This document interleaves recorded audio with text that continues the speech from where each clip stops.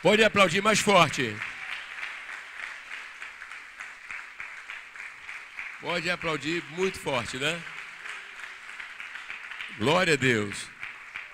Porque é, esse trabalho de estimular a pessoa é, ter mais tempo com a Bíblia é, é fundamental para o nosso sucesso, nosso êxito. Foi dito a Josué, né? Deus disse a Josué que se ele quisesse ter sucesso, como Moisés teve, deveria prestar atenção, ler e meditar no livro da lei. E vamos ser sinceros, se a gente individualmente não fizer isso, se pessoalmente não fizer isso e não aplicar a palavra de Deus, as coisas serão sofríveis na terra. Mas se a pessoa fizer isso, ela vai ter uma capacidade de superação, vai ter um discernimento muito profundo para a honra e para a glória do precioso nome do Senhor Jesus. Amém? Então, pegue a sua Bíblia, pode começar a abrir, encontrar logo o livro de Esdras na Bíblia. Quem vai encontrar mais rápido, vamos ver se são os homens ou as mulheres. Quem encontra o livro mais rápido, Pastor Alex já encontrou, Pastor Celso já encontrou, Eliseu já encontrou, Daniel encontrou. Cadê, cadê a pastora Érica já encontrou? Quem encontrou o livro de Esdras? Todo mundo encontrou. Igreja de, boa de Bíblia é assim, hein? Tatiana encontrou, irmã Neuza encontrou, Maria Santana também encontrou. Olha só essas nossas anciãs.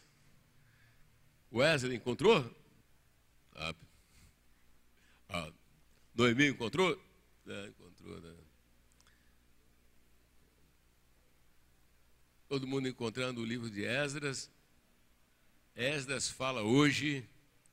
Glória a Deus, sessão com Esdras hoje. Nome de Jesus.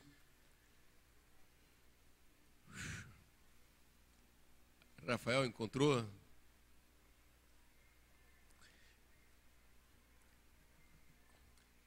Coloca no coração e diga: Senhor, fala ao meu coração. Mais uma vez fala ao meu coração. Ô, Bruna, Bruna, dá um pulinho aqui, por favor. Pastor, ela é elétrica pra caramba. Pastor, bota, manda a Bíblia botar no coração. Coloca a mão no seu coração, meu irmão. Coloca a mão aí. E aproveita e peça ao Senhor para falar o seu coração. Está com a mão no coração? Fala, Senhor, fala ao meu coração. Nós reconhecemos a presença do Teu Espírito. Reconhecemos a inspiração do Teu Espírito no nosso reverendo. Continue falando ao meu coração. Continue falando ao nosso coração, Senhor. Usa o instrumento que o Senhor designou para esse momento. Mas fala ao nosso coração. Esdras falando hoje. No nome precioso de Jesus, ó Deus. No nome de Jesus. Podeis assentar? Maravilha, né? É, todos os nossos irmãos, todos os alunos desse curso, nós gostaríamos de dar parabéns, aplaudir a vocês. Então, vou pedir para os pastores, vocês poderiam se voltar e vamos aplaudir, porque eles temos pessoas aí que vieram de Petrópolis, pessoas que vieram da região oceânica, pessoas que vieram de Osasco, Cabreúva, meu Deus, pessoal marcante, né? Lima Duarte, Juiz de Fora, glória a Deus, Copacabana, caramba, tá um U baixinho, Copacabana é mais forte que isso aí. Copacabana. Hoje, glória a Deus, para a honra e glória do nome do Senhor Jesus. Podeis assentar? Eu queria chamar aqui o Elias. Elias, pode chegar. Meus irmãos, o Elias faz parte daquilo que nós chamamos troféus desse ministério dessa igreja. Vamos aplaudir pela vida desse homem que está vindo aí, olha.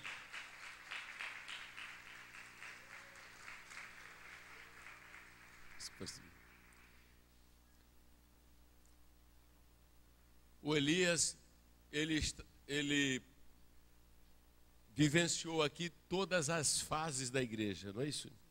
Todas as fases da igreja. E hoje você está morando em Mo, Mogi das Cruzes, está na nossa igreja em São Paulo. E a Bíblia fala assim que é muito bom a gente, sabe, olhar assim e ficar admirando essas relíquias, que são pessoas que em uma época, lá atrás, no nosso começo aqui, só ficava aqui quem realmente era decidido na Bíblia porque a pressão era muito forte, né? a malhação contra a igreja, a igreja liberta da tradição, e tanto Elias quanto a, a né? quanto Elias como a esposa foram colunas, né? Assim como o, Isaías e a Isabel lá em Angra, e a casa dele sempre teve projeto de José Minha Casa, né? Então, Elias, como é que você se sente ter atravessado esse tempo, né? e, e ver assim a igreja como uma potência missionária. Nós louvamos a Deus pela vida do nosso reverendo. É, é um prazer muito grande, pastor, né? Ver a igreja como ela começou, assim quando o senhor tomou a posse, e ver a igreja hoje. Nós vemos que a diferença é a água pelo vinho, né? Porque nada podia, tudo era pecado. E o que era pecado não era considerado pecado, né? Então, nós vemos que o reverendo chegou e mostrou realmente a verdade, mostrou a palavra. E até hoje essa palavra tem sido prevalecida e vai continuar prevalecer até o final, porque porque é o seguinte, ele faz o que realmente determina a palavra. O restante é singular. É interessante, olha, quando você olha um homem desse aqui, a gente fica lembrando nosso ministério espalhando a luz, a entrega de jornais, né? Coloca, hein? O alerta. E ele colocava o carro dele à disposição. Hoje, com a graça de Deus, né, a nossa igreja está aí com a van. Olha só, está aí com a van, a gente entra na van, né? Está aí com Bora, irarará, mas não era assim. Esse homem colocou o carro dele à disposição, né, várias vezes, né, o seu carro à disposição. Sim, senhor. É, é porque a igreja estava no começo. É, então, a gente teria que reconhecer a necessidade da igreja, da obra. Então, por isso que a gente colocou o nosso carro à disposição. Casa à disposição Olha, uma, da, uma, uma das congregações familiares mais frutíferas que eu conheci foi a congregação quando funcionava na residência dele. Né? Ele e a esposa, né? Você lembra? Culto de terça-feira ele, ele, ele fazia lotada, né? É, uma faixa de 66 pessoas. Nós tínhamos um ônibus contratado direto da congregação lá de casa, né? Inclusive, tem algumas pessoas aqui hoje que são pastores que se converteu na congregação lá de casa, né? E outras pessoas também.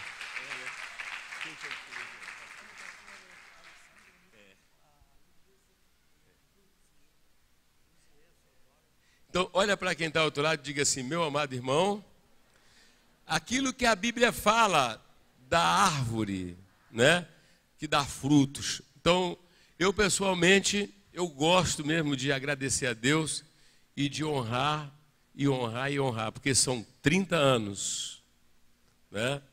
30 anos como se fosse três para mim. Três, a gente não vê o tempo passar, passa muito rápido as coisas, né? Mas pessoas assim como Elias e outros irmãos aqui da igreja, né?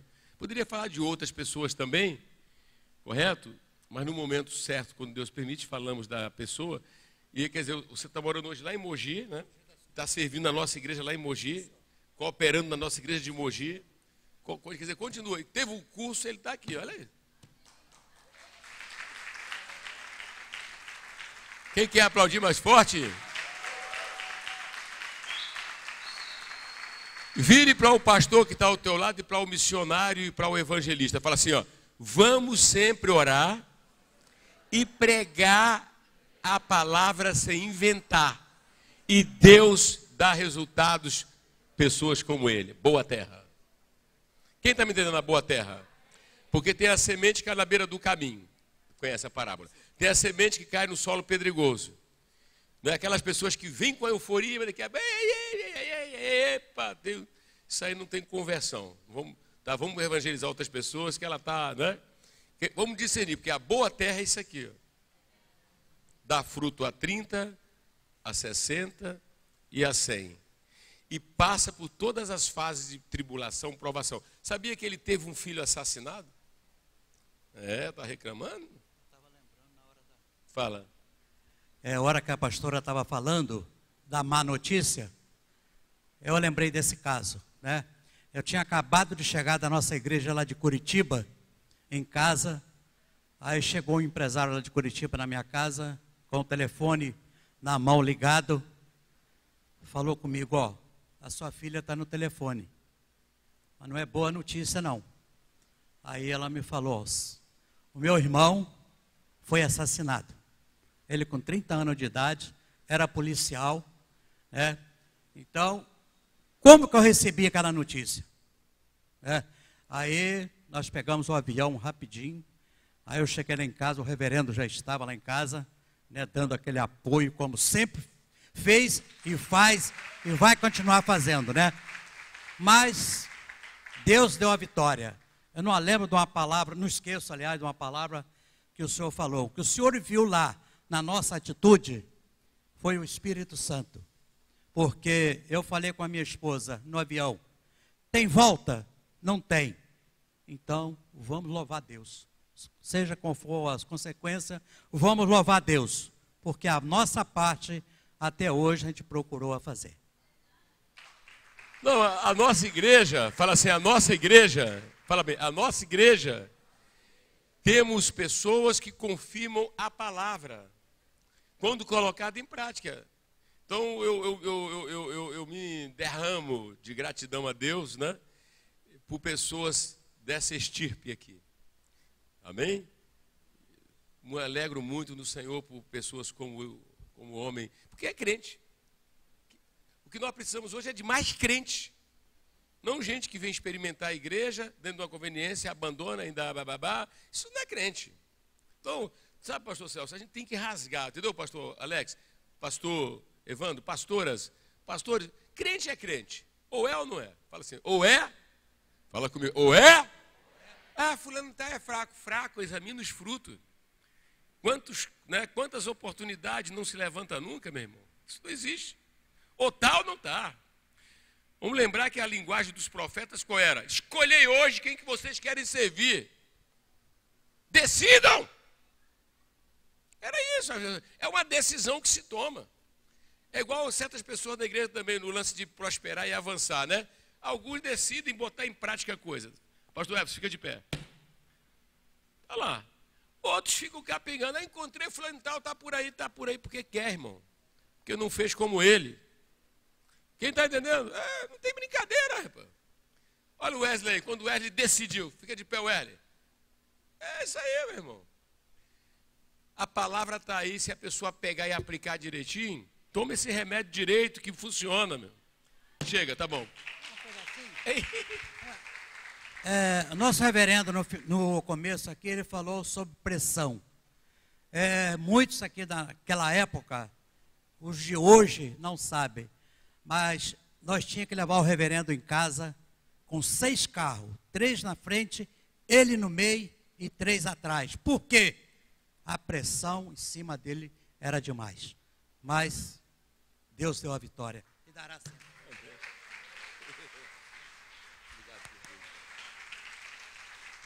É isso aí. Isso aqui é a Bíblia. A Bíblia diz a honre a homens como este honrai, que confirma a palavra, gente. Vamos olhar para as boas coisas, não é? Vamos olhar sempre para, para os frutos. Quem é quem, entendendo? Quem é quem desinteressadamente, só se interessa pelo Senhor e fazer o bem e não busca reconhecimento.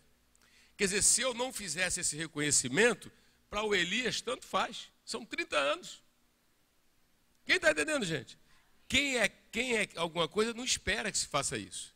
Isso acontece aí, Deus. Mas não depende disso. Não é ou não é? Amém? Vamos guardar esses princípios e ajudar os mais, né? Vamos ajudar os mais, pontinho, pontinho. Com alegria, Esdras fala hoje, nossa pastora, depois de uma temporada no México, assoma ao altar, com a graça de Deus, para abrir o livro. Esdras falando hoje.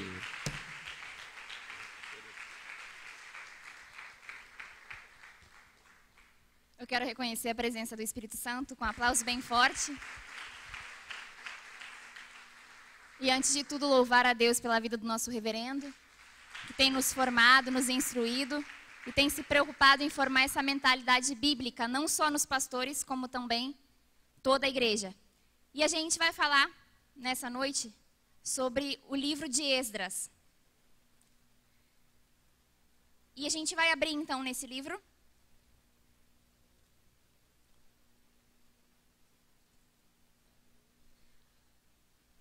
Vocês podem se assentar.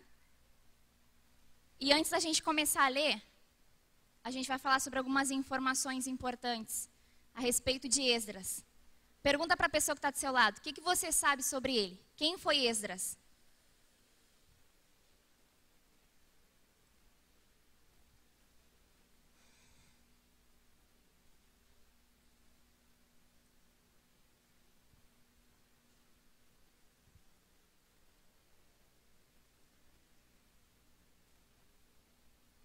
Esdras, ou Esdras, ele foi um sacerdote hebreu do período persa que residia na Babilônia. Todos já sabem que sacerdote é aquele que representa o homem diante de Deus. Ele liderou a segunda expedição dos judeus que retornaram para Jerusalém do cativeiro babilônico. Além de ser sacerdote, Esdras também era escriba. Pergunta para a pessoa que está do seu lado: o que, que é escriba? Qual a função dos escribas? O que, que os escribas faziam? Os escribas eram copistas das escrituras, eles faziam cópias da Bíblia. E eles eram reconhecidos e conhecidos como mestres das escrituras. Então, além de sacerdote, Esdras era o quê? Escriba. Esdras compilou as crônicas dos reis. E ele registrou o retorno predito, que levou então finalmente à reconstrução do templo, liderado por Zorobabel. E aí a gente vai ver também algumas informações gerais desse livro. Esse livro possui dez capítulos. Os dois últimos versículos de 2 Crônicas são iguais aos dois primeiros versículos do livro de Esdras. Pode ser, então, que originalmente esses dois livros tenham sido um livro só. Esdras, Neemias e Esther abrangem uns 100 anos de história, de 538 a 433 a.C. E os profetas Ageu e Zacarias profetizaram nessa época. E agora a gente vai entrar e vai extrair algumas lições do livro de Esdras. E a gente vai ver como Esdras continua também falando nos dias de hoje. Que aquela mensagem que a gente encontra aqui nesse livro não foi somente para aquele período, para aquela época. Mas Esdras continua falando conosco, assim como Miqueias, como Tiago e como os demais livros que a gente vai ouvir nesse seminário. E aí eu gostaria de ler com vocês no capítulo 1, a partir do versículo 1.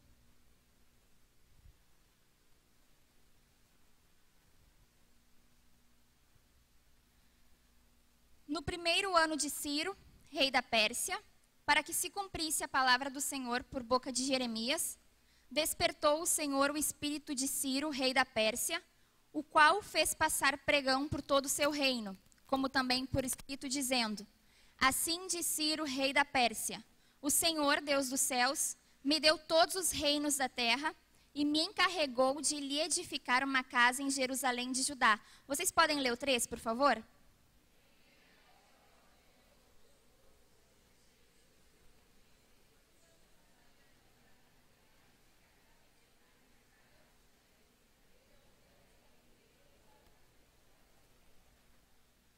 Todo aquele que restar em alguns lugares em que habita, os homens desse lugar o ajudarão com prata, ouro, bens e gado, afora as dádivas voluntárias para a casa de Deus, a qual está em Jerusalém.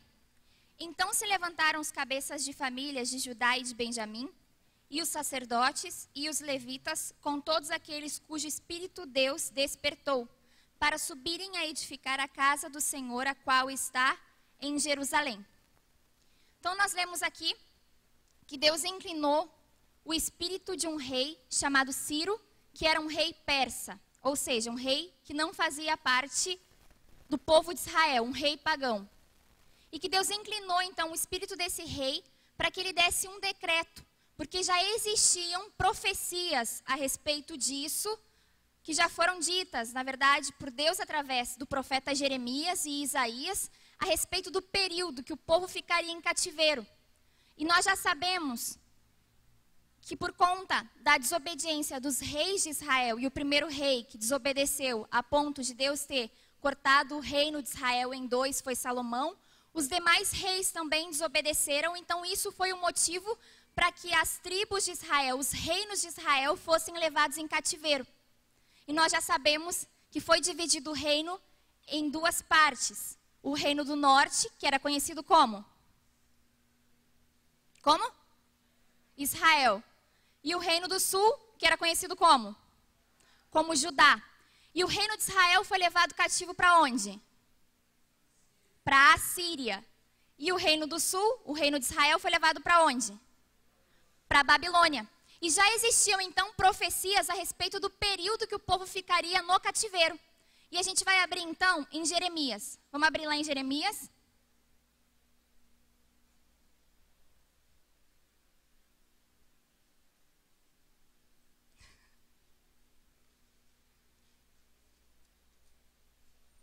Capítulo 25. Pode passar. No versículo 11.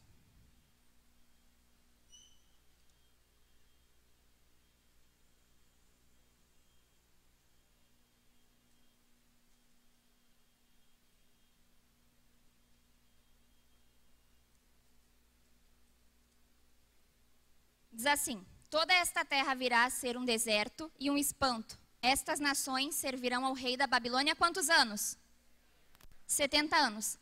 Agora no capítulo 29, no versículo 10, está aqui no slide, fala assim: Porque assim diz o Senhor: certamente que passados 70 anos na Babilônia, vos visitarei e cumprirei sobre vós a minha boa palavra, tornando-vos a trazer a este lugar então a gente viu duas profecias que foram ditas pelo profeta Jeremias, falando que o povo ficaria no cativeiro durante 70 anos.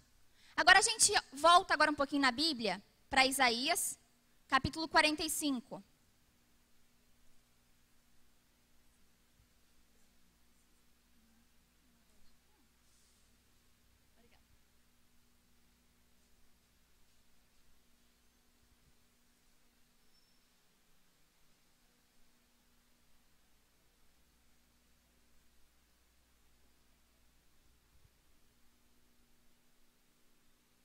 Todos encontraram? Isaías 45, a partir do versículo 1. Assim diz o Senhor ao seu ungido, a Ciro, a quem tomo pela mão direita para bater as nações ante a, sua face, e para descingir os lombos dos reis, e para abrir diante dele as portas, que não se fecharão.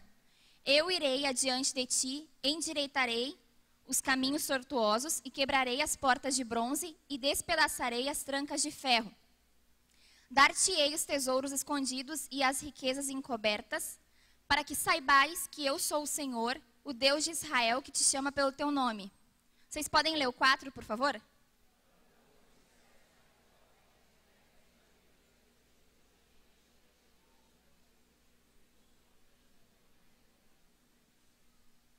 Eu sou o Senhor e não há outro. Além de mim não há Deus. Eu te cingirei, ainda que não me conheces para que se saiba até o nascente do sol e até o poente, que além de mim não há outro. Eu sou o Senhor e não há outro. Eu formo a luz e crio as trevas, faço a paz e crio o mal. Eu, o Senhor, faço todas as coisas. Então a gente leu aqui a respeito dessa ordem que Deus já havia dado, já havia preparado antes mesmo do acontecimento. E que Deus então, ele é soberano. Essa é a primeira lição que a gente pode tirar desse livro de Esdras, sobre a soberania de Deus. Porque Deus é aquele que dispõe de um rei que era pagão para cumprir o propósito que ele já havia determinado para o seu povo. Deus é aquele que está acima de tudo e de todos. E aqui em Isaías, a gente leu que ele fala que não existe outro Deus além dele. E que ele já havia preparado socorro para o seu povo, que estava passando por uma situação muito complicada. E o que, que isso pode trazer de lição para a gente? Que Deus é aquele que tem o domínio de todos os acontecimentos do universo. Ele tem o completo domínio de tudo aquilo que passa nesse mundo. Ainda que haja a simultaneidade dos fatos, nada foge do controle desse Deus, porque ele sabe de tudo, ainda que exista diferença de horários nos países. Ainda que agora aqui seja um horário, no Japão seja outro, no México seja outro, em outros países seja outro, tudo aquilo que está acontecendo no Brasil ou em qualquer outro país está sob domínio desse Deus e nada foge do controle dele. Então, quando eu olho nessa perspectiva, eu vou olhar tudo com a mente de Cristo e as coisas que passam na minha vida, ainda que sejam difíceis, eu não vou me desesperar. Porque eu vou lembrar que o meu Deus é aquele que tem uma fama, que de geração em geração ele faz além do olhar, além daquilo que a gente já viu. É aquele que pode fazer infinitamente além daquilo que pedimos ou pensamos, conforme o poder que há em nós. Ele é aquele que pode fazer o impossível acontecer, porque ele é soberano. Ele é o criador dos céus e da terra e não existe nada que seja difícil para ele. Então, quando eu olho nessa perspectiva, ainda que tudo esteja acontecendo de errado na minha vida, ainda que as coisas estejam indo muito mal, eu não vou perder a esperança em meio ao desespero. E o nosso reverendo falou aqui no culto da palavra, eu acho que foi na terça-feira passada, ou foi num domingo desses. Ele falou que quando a gente olha Deus como, ser, como, como soberano, ainda que o meu problema seja do tamanho do pão de açúcar, ainda que o meu problema seja do tamanho do Monte Everest, se eu olho para Deus nessa perspectiva, tudo isso vira um tapete. Porque eu vou conseguir passar por tudo isso sem sofrer, porque eu vejo tudo na ótica de Deus e sei que Ele é aquele que governa todas as coisas e que tem total domínio sobre a minha vida. Então fala para a pessoa que está do seu lado. O seu Deus é soberano. Ele dispôs de um rei pagão para cumprir um propósito que ele havia determinado, para prover o socorro para o seu povo que necessitava de uma solução. Então, o problema, ainda que a gente possa ver um problema muito grande, para Deus ele não é nada e ele pode ser solucionado com a sabedoria que vem do alto, como a gente ouviu aqui da pastora Rita. Então, nós precisamos olhar nessa perspectiva. Deus é soberano. Deus ele é todo poderoso. Ele é capaz de resolver qualquer situação. E eu preciso olhar nessa perspectiva para que eu não me perca e assim então as pessoas possam ver a glória de Deus na minha vida. O segundo ponto, ainda dentro dessa soberania, é que ele dispõe de quem ele quiser para cumprir o seu propósito. E quando a gente olha nessa ótica, a gente nunca vai achar que a gente não é capaz de fazer alguma coisa para Deus, ou achar que alguém não seria capaz de cumprir um propósito de Deus aqui na terra. Porque Deus dispôs desse rei que não fazia parte desse povo de Israel. Porque justamente ele é aquele que dispõe de quem ele quer para o fim que ele determina. E quando eu olho nessa perspectiva, com a mente de Cristo, eu também não me perco nesse sentido. Não vou julgar uma pessoa pela aparência. Essa pessoa fala muito bem, ela é eloquente. Eu gosto de ouvir ela falando. Mas aquela pessoa não ela é travada, fala pesado, eu não gosto de ouvir. Então, quando eu olho nessa perspectiva, eu sei que Deus ele pode usar quem ele quiser para aquilo que ele quiser. E aí então eu não me perco também com a inveja ministerial. A gente lembra, quando olha biblicamente, pensa com a mente de Cristo, de um fato bíblico também. A gente lembra de Jonatas e Davi. Quem era o herdeiro natural do reino de Israel? Jonatas. Ou não? Mas Deus escolheu a quem? A Davi. E Jonatas ficou irado com isso. Ficou com muita inveja. Ficou com muita raiva. Falou assim: como Deus pode ter escolhido Davi no meu lugar? Se eu sou o filho do rei de Israel, como ele pode ter escolhido um outro cara que não faz nem parte dessa linhagem? Foi isso que ele fez? O que, que ele fez? Ele olhou biblicamente para a situação e falou: Deus escolheu a Davi. E ao invés de criticar Davi, eu vou me aliar a Davi. Eu não vou agora me juntar com meu pai e tramar um projeto, um plano para matar Davi. Pelo contrário, aquilo que ele ouviu do pai dele como uma trama para matar Davi, ele contou para Davi e desfez todo o mal que estava tramado contra aquele que é ungido de Deus. Então, quando eu olho assim, eu também sou livrada da inveja ministerial. Mas se eu tivesse no lugar daquela pessoa, eu faria melhor. Se eu fosse dirigente naquela casa, o trabalho ia arrebentar. Eu ia ganhar muito mais almas. Eu ia falar muito melhor. Eu pregaria muito melhor do que ele. Então fala para a pessoa que está do seu lado. Tenha a mente de Cristo e saiba que Deus é soberano e que ele sempre vai dispor de quem ele quiser, ainda que você ache que essa pessoa não tenha condições. Porque Deus é aquele que capacita, quem ele escolhe, quem ele chama para cumprir o seu propósito. E a gente nunca pode achar também que nós não somos capazes de fazer algo, porque se Deus nos chamou, ele vai nos capacitar. A capacidade vem desse Deus que é soberano, que fez todas as coisas que a gente pode hoje desfrutar e pode ver. Amém? Então a gente continua E aí a gente viu então aqui no livro de Esdras que Deus havia movido o coração desse rei, do rei Ciro. E aí o rei então deu um decreto. Ele disse que todos aqueles que pertenciam ao povo de Israel poderiam voltar para Jerusalém para reconstruir o templo e reconstruir a cidade que estava devastada, que foi destruída. E aí ele ainda deu ordens: todos aqueles que se encontram em qualquer outro lugar, eles têm a permissão de voltar para Israel para reconstruir a cidade deles e para voltar para morar.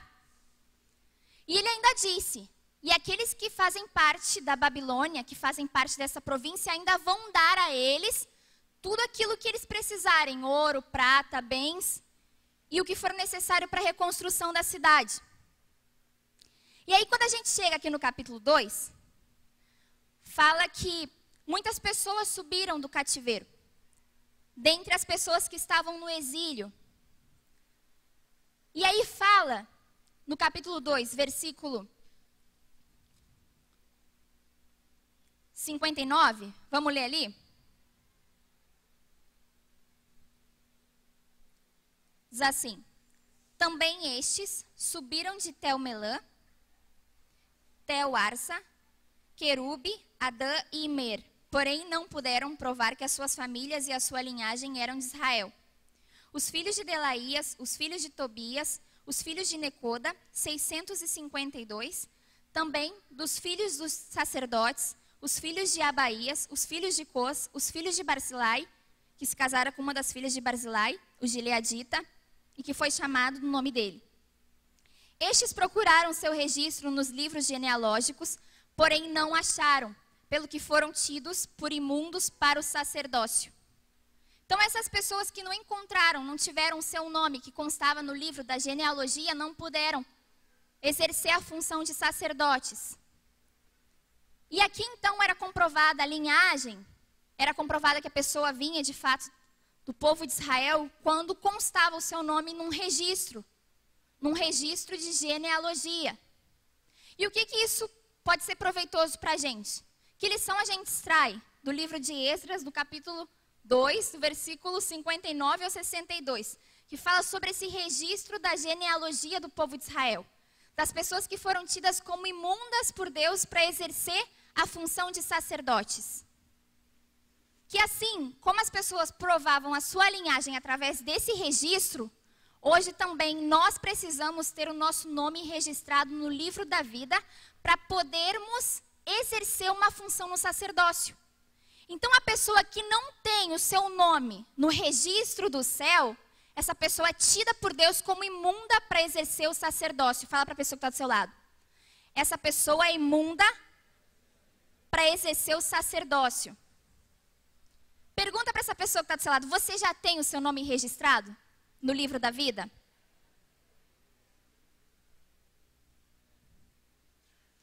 E isso então, na verdade, traz a lição que nós precisamos discernir os frutos. Os frutos das pessoas que nos rodeiam e os líderes discernirem os frutos que as pessoas dão na igreja para poder contar com essa pessoa também para auxiliar representando o reverendo no projeto Jesus em minha casa ou qualquer outra função que seja dada a essas pessoas. O que a gente não pode fazer é olhar para a pessoa com os olhos naturais, como o reverendo já falou aqui hoje, falar essa pessoa canta muito bem, ela vai louvar. Essa pessoa ela cozinha muito bem, ela vai ser responsável pela cantina. Essa pessoa ela é professora de uma escola secular, ela vai dar discipulado na igreja. Isso é um equívoco, é um erro. Nós não podemos medir as pessoas pelas suas habilidades naturais. Nas empresas, para as empresas, isso é válido, mas para o reino de Deus, não. Nós precisamos contar com pessoas que de fato experimentaram a conversão autêntica, pessoas que têm o seu nome no registro do livro da vida, pessoas que experimentaram um novo nascimento, e assim então Deus ele vai distribuir os dons e ele de fato vai levantar pessoas para cooperar conosco.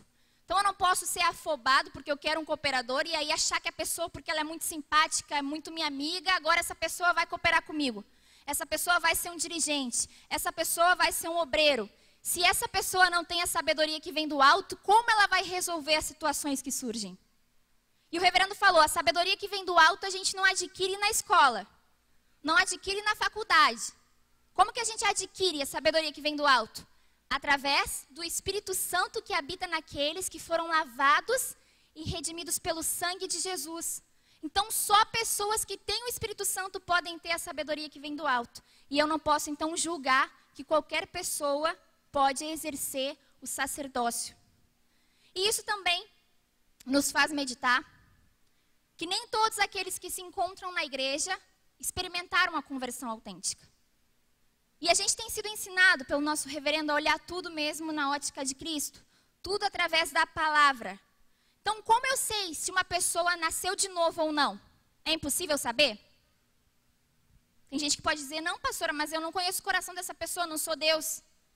Mas pelos frutos se conhece o quê? A árvore. Então, uma pessoa que tem resistência ao batismo, se converteu? Uma pessoa que não quer fazer o discipulado, se converteu? Uma pessoa que tem resistência em vir no domingo de manhã.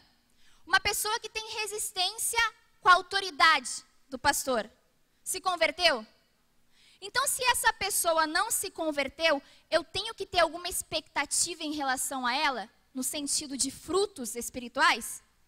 Eu vou lidar com ela dentro daquilo que ela pode oferecer, ou seja, eu vou ter que pregar o evangelho até que ela se converta. Mas eu não vou tirar essa pessoa para minha melhor amiga, eu não vou ter essa pessoa como a, a minha colega para a gente fazer, né, sair para o lazer, para a gente estar tá sempre conversando, porque se a pessoa não nasceu de novo, é impossível ter a mente de Cristo é impossível ser espiritual. E nós precisamos nos aliar com quem? Com os espirituais ou com os carnais? Com os espirituais. Então precisamos discernir os frutos. Fala para a pessoa que está do seu lado. Tenha a capacidade pelo Espírito Santo e a sabedoria que vem do alto de discernir os frutos. Se essa pessoa não se converteu, o que você vai fazer com ela? Pregar. Vai falar de Jesus, vai expor o plano da salvação, vai falar que não existe outro caminho a não ser Cristo, mas vai andar com essa pessoa como se ela fosse a sua melhor amiga, vai participar das conversas dela, conversas mundanas, conversas carnais, sim ou não? Não. E aí a gente andando mais um pouquinho aqui no livro de Esdras, a gente chega no capítulo 3. E a gente vai ler desde o versículo 1. Diz assim: Em chegando o sétimo mês, e estando os filhos de Israel já nas cidades, ajuntou-se o povo como um só homem em Jerusalém. Levantou-se Jesua, filho de Josadaque, e seus irmãos, sacerdotes, e Zorobabel, filho de Sealtiel, e seus irmãos, e edificaram o altar do Deus de Israel, para sobre ele oferecerem holocaustos, como está escrito na lei de Moisés, homem de Deus. Vocês podem ler o 3, por favor?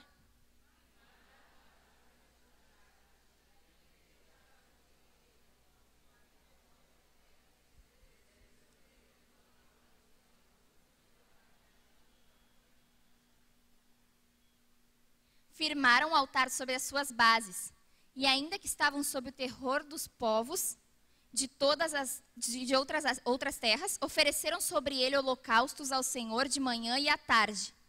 Então aqui fala que a primeira obra que eles fizeram quando chegaram em Jerusalém, quando saíram do cativeiro e chegaram em Jerusalém, foi a reconstrução do altar.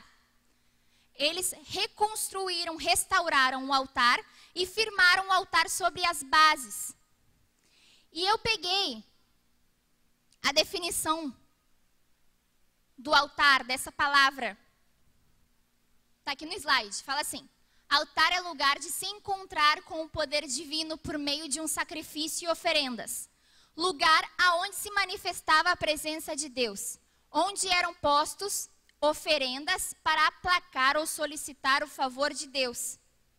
Essa definição eu tirei da enciclopédia da Bíblia e aí fala então que o altar é lugar onde a gente se encontra com o poder de Deus. E aí então eles restauraram esse altar, o ponto de encontro com Deus. Antigamente era oferecido sacrifício justamente para aplacar a ira de Deus e também para solicitar o favor do Deus do altar. E a pergunta que eu gostaria de fazer para vocês, e gostaria até que vocês conversassem entre si, quem é o nosso altar ou o que é o nosso altar hoje em dia? A gente não tem mais um altar para oferecer sacrifício. Mas como a gente se encontra com Deus? Se a gente já não tem mais um altar para oferecer sacrifício. E ainda que tivéssemos, nós não somos do povo de Israel. Quem é o nosso elo de encontro? Quem é o nosso ponto de encontro? Quem nos liga, nós pecadores, com Deus Santo? Jesus. E eu gostaria de ler então essa afirmação que esse altar é Jesus em Hebreus capítulo 13, no versículo 10. Está escrito aqui, ó, no slide. Possuímos um altar do qual não tem direito de comer os que ministram no tabernáculo. Aí nesse mesmo capítulo de Hebreus, a gente vai para o versículo 15, fala isso. Por meio de Jesus, pois, ofereçamos a Deus sempre sacrifício de louvor, que é o fruto de lábios que confessam o seu nome. Então, quem é o nosso altar? Pode ficar mais forte. Quem é o nosso altar? Mais forte. Quem é o nosso altar? Nosso altar é Jesus. Quem quer aplaudir? Volta para a definição do altar. Então, o nosso altar é Jesus.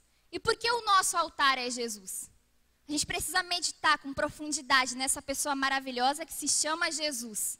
O Filho eterno de Deus, o Verbo que se fez carne, aquele que veio e andou entre os homens pecadores, em semelhança de homem, mas que foi perfeito e ofereceu o sacrifício que foi aceito por Deus para expiação de todos os pecados. E aí aqui fala então que é lugar de se encontrar com o poder divino por meio de um sacrifício e oferendas. Qual foi a oferta dada? Qual foi o sacrifício entregue para que a gente pudesse ter reconciliação com Deus? Foi a vida de Jesus. Foi o sangue dele que foi derramado naquela cruz. Aí nessa definição fala o quê? Lugar onde se manifestava a presença de Deus. Em Colossenses fala que toda a plenitude de Deus residia naquele homem. Então a presença de Deus se manifestou na terra através de um homem chamado Jesus. O rosto de Deus foi visto pelos homens porque se manifestou através de um homem chamado Jesus.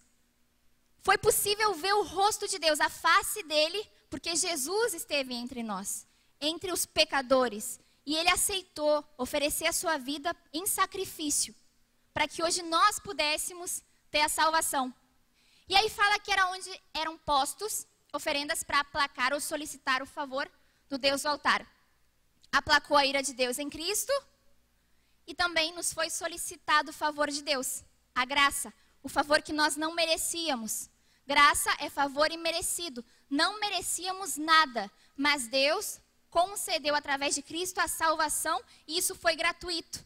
Não que nós tínhamos uma, Deus tinha uma dívida conosco, Ele não devia nada para gente. E nós não merecíamos também que Ele fizesse algo, porque nós somos pecadores, somos maus. Mas Deus decidiu punir todo o pecado em um homem, que foi o seu filho, e assim fazer expiação de todos os pecados. Eu gostaria de abrir com vocês a Bíblia em Colossenses.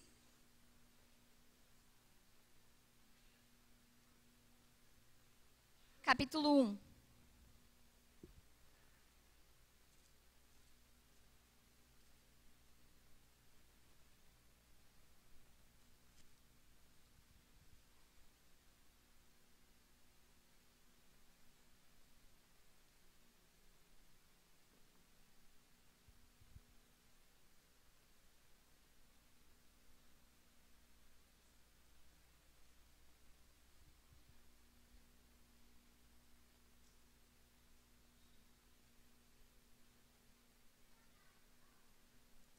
Colossenses 1, a gente pode ler a partir do versículo 13.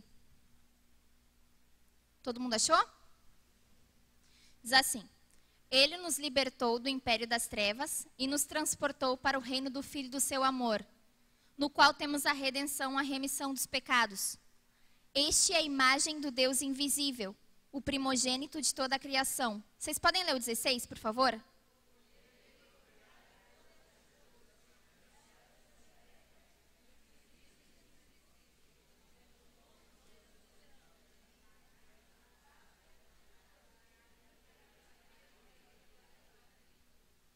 Ele é antes de todas as coisas, nele tudo subsiste. Ele é a cabeça do corpo da igreja. Ele é o princípio, o primogênito de entre os mortos, para em todas as coisas ter a primazia, porque aprouve a Deus que nele residisse toda a plenitude, e que, havendo feito a paz pelo sangue da sua cruz, por meio dele reconciliasse consigo mesmo todas as coisas, quer sobre a terra, quer nos céus. E a vós outros também, que outrora éreis estranhos e inimigos no entendimento pelas vossas obras malignas. Agora, porém, vos reconciliou no corpo da sua carne, mediante a sua morte, para apresentar-vos perante ele santos, inculpáveis e irrepreensíveis. Então aqui fala que Deus ele nos libertou do império das trevas e nos transportou para o reino do filho do seu amor. Através de Jesus, a gente teve essa libertação. Também fala que nós temos a redenção e a remissão dos pecados. E quando a gente fala sobre Jesus, a gente precisa meditar com profundidade sobre quem é Jesus, sobre a sua obra e sobre o seu ensinamento. E aí, falando sobre essa palavra redenção, eu sei que muitos já ouviram, até mesmo quarta-feira em Osasco, o reverendo me enviou para lá, para esperar na quinta-feira a nossa irmã que veio do México, a Diaretse, e na quarta-feira eu preguei e falei justamente sobre a redenção e é um tema que eu gosto muito de falar. E essa palavra redenção, ela tem um significado muito profundo. Significa readquirir, comprar de volta. Algo que já foi nosso, mas que por um período de tempo foi retirado do nosso poder. Tem outras definições também. Significa pôr em liberdade quando se trata de alguém que está sob escravidão. E a terceira definição seria livrar, quando se trata de alguém que está correndo um sério risco.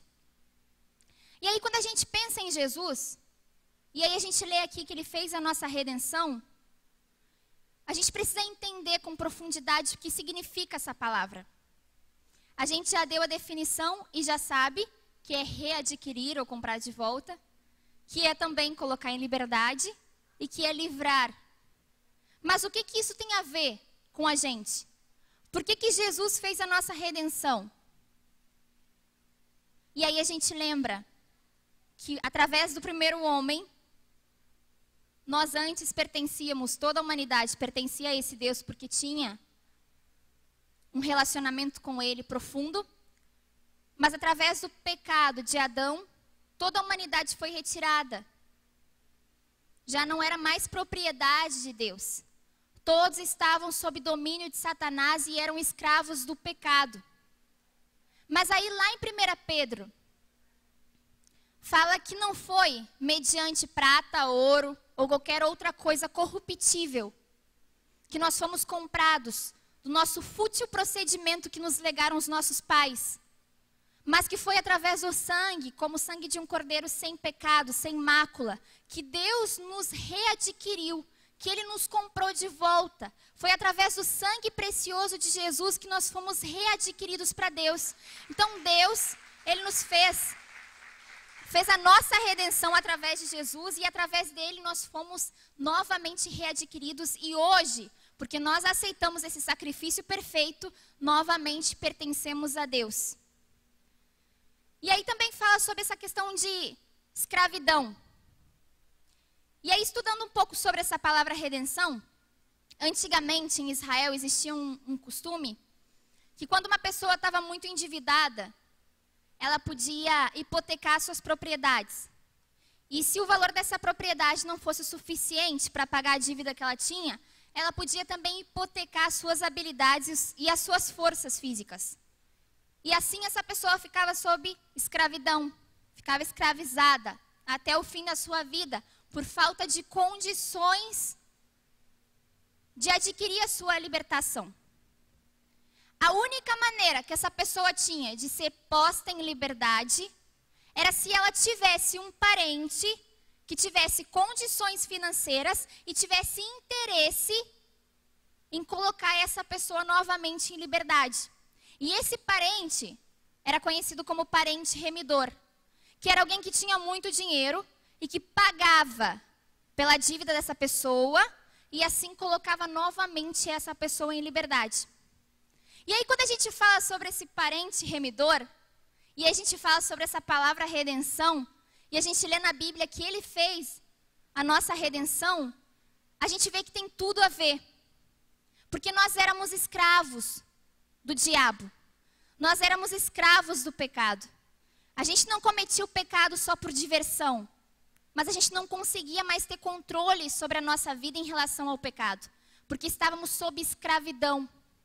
E aí Deus, na sua infinita misericórdia, ele envia o nosso parente remidor, aquele que se fez semelhante a nós, que veio como homem aqui na terra, ainda sendo Deus, e que ofereceu a sua vida como moeda de resgate. E ele então nos pôs em liberdade porque se interessou por nós e disse: Pode deixar que essa dívida eu pago. Pode colocar tudo aquilo que eles têm como um débito na minha conta. Eu vou no lugar deles naquela cruz. Eu morro a morte que todos mereciam. E eu consigo viver a vida perfeita que ninguém conseguiu viver porque tem o pecado. E aí então Jesus, como nosso parente remidor, ele vive aquilo que nós deveríamos viver, mas não conseguimos, e morre a morte que nós deveríamos, que nós merecíamos morrer. Porque ele se fez o nosso parente remidor. Ele se interessou por nós. Ele quis nos pôr em liberdade. E ele então fez a nossa redenção. E aí, falando sobre a terceira definição, fala que é livrar. Fala também que Jesus nos livrou da condenação eterna, do inferno. E nós então fomos livrados pela misericórdia de Deus que é infinita e que é eterna. Então isso é redenção. Essa é a obra de Cristo. Ele se compadeceu de nós. Deus nos amou de tal maneira a ponto de entregar o seu único filho que se sujeitou a entregar a sua vida por nós porque nos amou de verdade. Pergunta para a pessoa que está do seu lado: o que é redenção? O que, que você entendeu a respeito da redenção?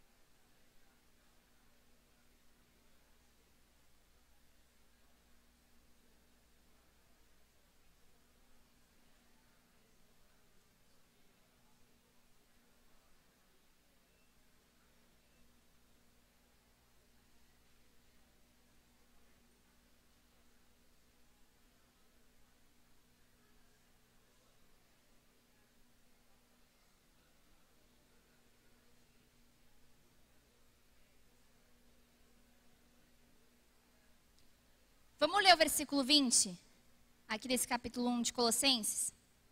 Fala assim: E que, havendo feito a paz pelo sangue da sua cruz, por meio dele reconciliasse consigo mesmo todas as coisas, quer sobre a terra, quer nos céus.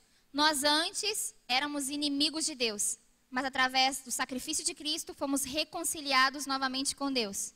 E aí no versículo 21, e a vós outros também, que outrora éreis estranhos e inimigos do entendimento pelas vossas obras malignas, agora, porém, vos reconciliou no corpo da sua carne, mediante a sua morte, para apresentar-vos perante ele santos, inculpáveis e irrepreensíveis.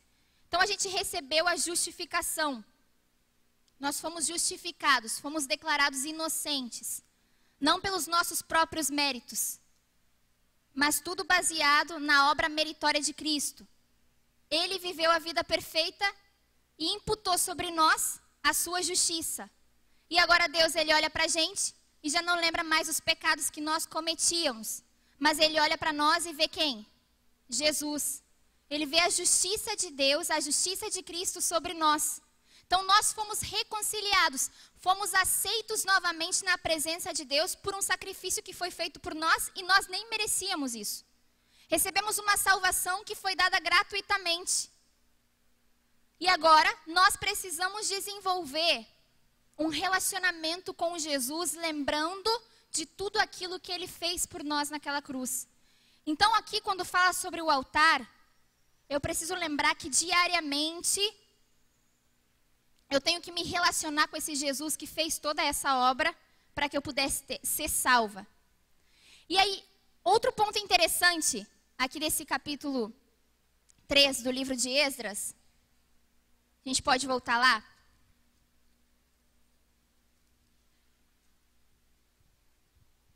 No versículo 3.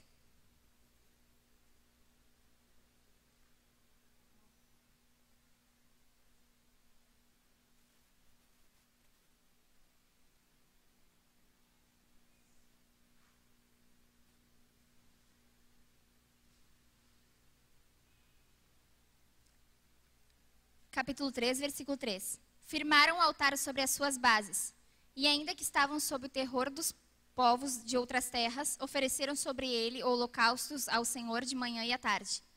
Então aqui fala que firmaram o altar sobre as suas bases. E eu peguei a definição da palavra base. Tudo quanto serve de apoio, fundamento ou sustentáculo. Então significa que eles firmaram o altar, que a gente já sabe quem é o altar, sobre as suas bases. E aí a gente viu aqui que é fundamento, que é onde a gente pode fundamentar, colocar alguma coisa como apoio, que dá sustento àquilo que a gente fundamenta sobre essa base. E aí, aplicando para a gente, o que seria essa base? Pergunta para a pessoa que está do seu lado: você firmou o seu altar, que é Cristo, baseado em quê?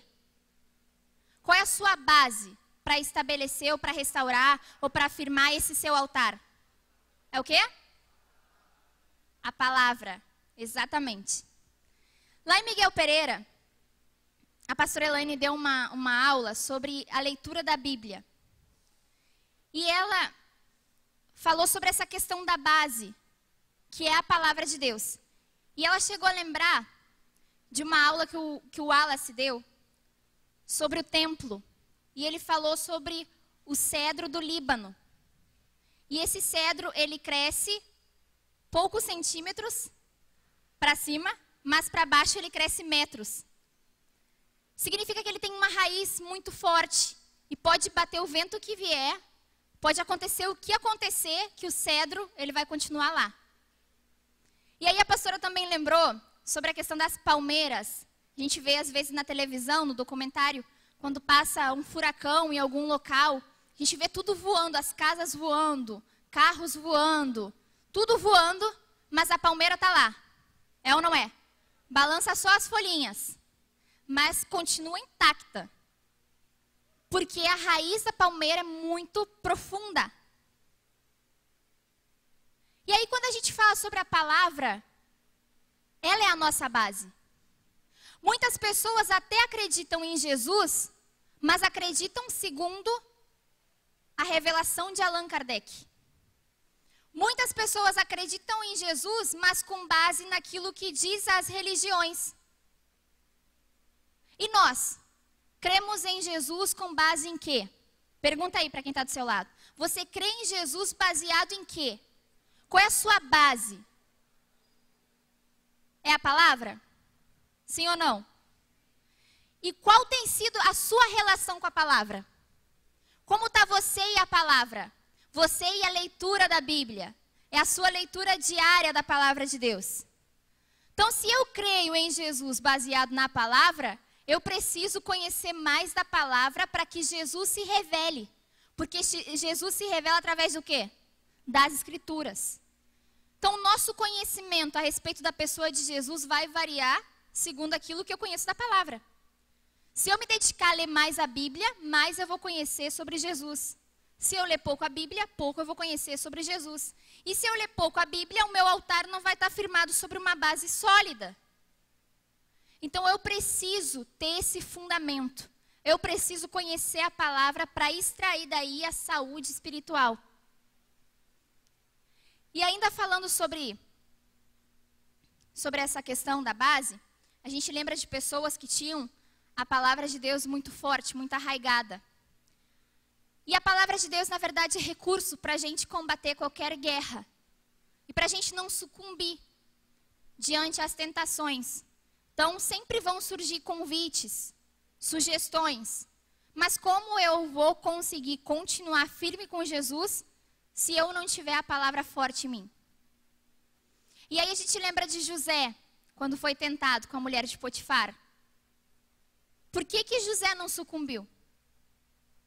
Tem muita gente que gosta de dar desculpa, falar que a carne é fraca, que pecou porque não vigiou, porque pecou porque é ser humano, pecou e Deus vai compreender. Mas José não deu desculpa para o pecado. José, ele disse que não possuiria a mulher de Potifar, porque essa mulher não pertencia a ele. E ele já conhecia os princípios da palavra e tudo isso estava muito forte dentro dele.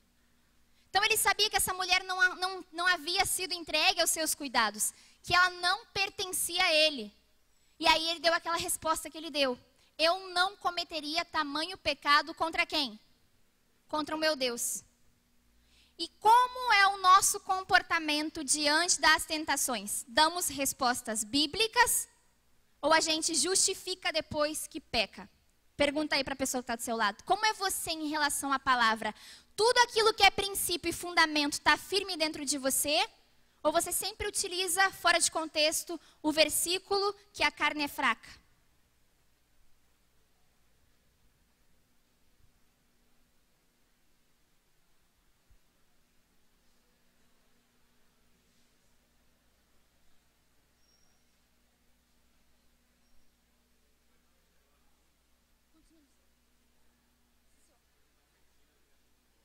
Então agora a gente vai fazer um intervalo. Quem quiser pode ir na cantina, quem quiser pode ir no banheiro e depois a gente volta.